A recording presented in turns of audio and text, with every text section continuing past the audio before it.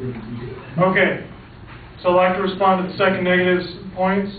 A Couple of points that were made were that uh, our presence in Iraq is making us lose our allies and gaining world hatred towards us. However, Obama's plan isn't just to take out troops from Iraq, it's to take them out, but put them into Afghanistan. So if we're taking out troops and putting them into Afghanistan, what's the difference of fighting in Afghanistan versus Iraq? The, the world's still not looking down, is, is still looking down upon it. They're not going to like it. So really there's, there's kind of not much of a point being made there. We're, we're going to get world hatred no matter where we go, according to Obama's plans.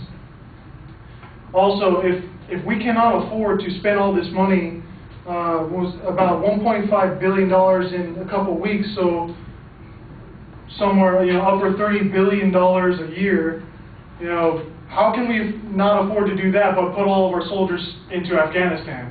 It's, it's the same amount of time, or it's the same amount of money that we'd be putting there.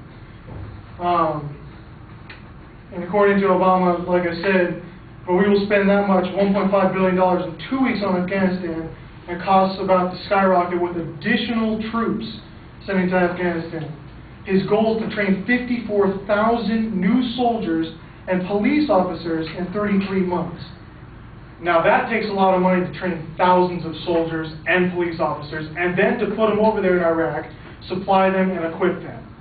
Uh, truly, we're not saving any money by carrying out this plan. If anything, we may be increasing our, our spending money. Um, the U.S. recruiting has gone down. Well, yes, the recruiting has gone down because most people do, just do not want to stand in the way of a bullet. Um, there's not really much to dispute about that. I myself would not, I want to join the military. I would not like to stand in front of a bullet.